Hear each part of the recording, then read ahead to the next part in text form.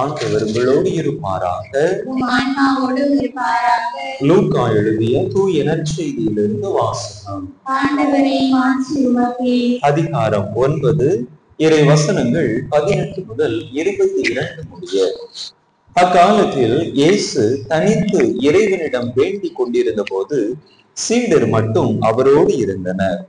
அப்போது அவர்களிடம் நான் யார் என மக்கள் சொல்லுகிறார்கள். என்று அவர் கேட்டார். அவர்கள் மறுமொழியாக சிலர் திருமுழுக்கு யோவான் எனவும் வேறு சிலர் எலியா எனவும் மற்றும் சிலர் முற்காலத்து இறைவாக்கினருள் ஒருவர் உயிர் உயிர்த்தெழுந்துள்ளார் எனவும் சொல்கின்றனர் என்றார்கள். ஆனால் நீங்கள் நான் யார் என சொல்கிறீர்கள்? என்று அவர்களிடம் அவர் கேட்டார். பேதுரு மறுமொழியாக நீர் கடவுளின் மெசியா. என்று உரைத்தார். இதை யாரிடமும் சொல்ல வேண்டாம் என்று அவர்களிடம் அவர் கண்டிப்பாய் கூறினார். மேலும் இயேசு மானிட மகன் பலவாறு துன்பப்படவும் மூப்பர்கள் தலைமை குருக்கள் மறைநூல் அறிஞர் ஆகியோரால் உதறி தள்ளப்பட்டு கொலை செய்யப்படவும் மூன்றாம் நாளில் உயிருடன் எழுப்பப்படவும் வேண்டும் என்று சொன்னார். ஆண்டவரின் அருள் வாக்கு.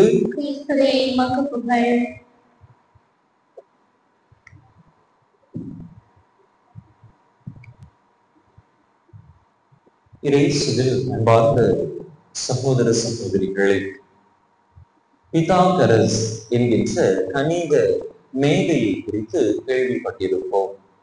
இந்த கணித மேதை தன்னிடம் பயின்ற மாணவர்களுக்கு எப்பொழுதும் ஒரு அறிவுரை சொல்லுவாராம்.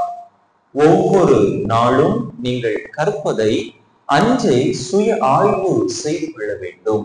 இரவு தூங்க செல்வதற்கு முன்பதாக அன்றைய தினத்திலே என்ன பாடத்தை கற்றுக்கொண்டீர்கள் என்று நீங்கள் முழுவதுமாக திருப்பி பார்க்க வேண்டும் என்று சொல்வதை வழக்கமாக கொண்டிருந்தாராம். இதனால்தான் மற்ற மாணவர்களை அல்லது மற்ற குருக்களுடைய சீடர்களை காட்டிலும் பிதாக்கரஸ் என்கின்ற இந்த ஆசிரியரிடம் இந்த குருவிடம் கல்வி பயின்ற மாணவர்கள் அவருடைய சீடர்கள் அறிவு புலமை மிகுந்தவர்களாக இருந்ததாக சொல்கின்றார்கள். அன்பார்களே நம்முடைய வாழ்க்கையில் கூட எப்பொழுதெல்லாம் நாம் நம்முடைய வாழ்வை சுய ஆய்வு செய்து பார்க்கின்றோமோ அப்பொழுது நம்முடைய வாழ்வு ஒரு அர்த்தமுள்ள வாழ்வாக மாற ஆரம்பிக்கின்றது. நாம் சுய ஆய்வு செய்கிற பொழுது கடந்த காலத்திலே செய்த தவறுகளை விலக்கி வாழ ஆரம்பிக்கின்றோம். நம்முடைய கிறிஸ்தவ மரபிலே கிறிஸ்தவ வாழ்விலே ஆன்மீக சோதனை அல்லது ஆன்ம சோதனை என்று சொல்லுவார்கள். ஒவ்வொரு நாளும் உறங்க செல்வதற்கு முன்பதாக அன்றைய நாளிலே நாம் என்னென்ன செயல்பாடுகளை செய்தோம் என்பதை திருப்பி பார்த்து நம்முடைய வாழ்விலே சரியான பாதையில் தான் அன்றைய தினத்திலே பயணித்திருக்கிறோமா என்பதை சிந்தித்து பார்த்து நாம் அழைக்கப்படுகின்றோம். அப்படி ஒவ்வொரு நாளும் நாம் செய்த செயல்பாட்டினை திருப்பி பார்க்கும் பொழுது நாம் எங்கே இறைவனுடைய பாதையிலிருந்து விலகி நடந்திருக்கிறோம் என்பதை அடையாளம் கண்டுகொண்டு நம்முடைய பாதையை செம்மையாக்கி அடுத்த நாள் மீண்டும் அந்த தவறை செய்யாமல் இருக்க அந்த ஆன்ம சோதனை நமக்கு பேருதவி புரியும். அன்பார்ந்தவர்களே இன்றைய நற்செய்தியிலே பார்க்கிறோம். ஆண்டவர் இங்கே தன்னுடைய வாழ்வை ஒரு சுய ஆய்வுக்கு உட்படுத்தி பார்க்கின்றார். ஆண்டவர் தன்னுடைய சீடர்களிடத்திலே கேட்டது என்னை அல்லது மானிட மகனை மக்கள் யார் என சொல்லுகிறார்கள்?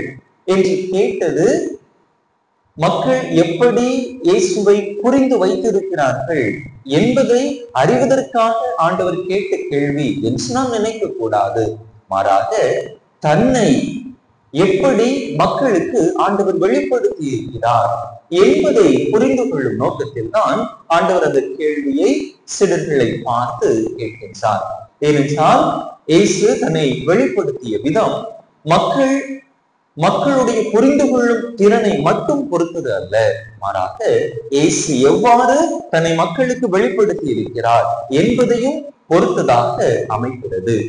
சீடர்களிடம் கேட்ட பொழுது சீடர்கள் கொடுத்த பதில்களிலிருந்து ஆண்டவர் ஒன்றை புரிந்து கொள்கின்றார் ஆக மக்கள் தன்னை புரிந்து கொள்ளவில்லை.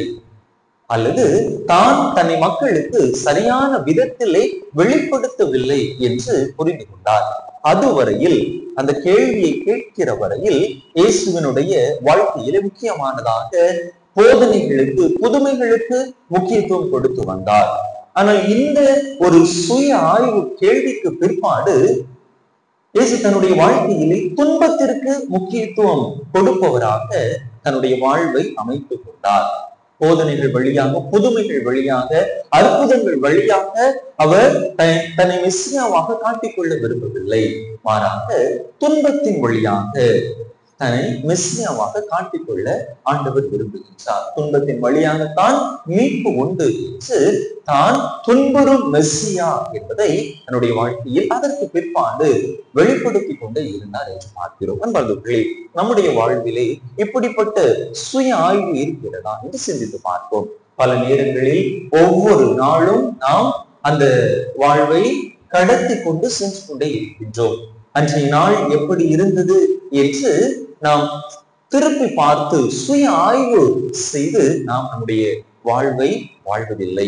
எப்பொழுது நாம் சுய ஆய்வு செய்ய ஆரம்பிக்கிறோமோ அப்பொழுது உண்மையிலேயே நம்முடைய வாழ்வு அர்த்தம் நிறைந்த வாழ்வாக பிறருக்கும் வாழ்வு தரக்கூடிய ஒரு வாழ்வாக இருக்கும். எனவே ஒவ்வொரு நாளும் ஆன்ம சோதனைகள் மூலமாக நாம் செய்த செயல்களை திருப்பி பார்த்து எவ்வாறு அன்றைய நாளை அமைத்திருக்கிறோம்? உண்மையிலேயே இறைவனுக்கு உகந்த விதத்திலே நல்ல வாழ்வு வாழ்ந்திருக்கிறோமா? என்று சிந்தித்து பார்த்து நாம் நம்முடைய வாழ்க்கையை அமைத்துக் கொள்ள முயற்சி செய்வோம். அப்பொழுது நம்முடைய வாழ்வு இறைவனுக்கு உகந்த வாழ்வாக இறைவனுடைய ஆசை நிரம்ப பெற்ற ஒரு வாழ்வாக இருக்கும். அத்தகைய வரத்திற்காக தொடர்ந்து இந்த பலியிடை மன்றாடுவோம். ஆமன்.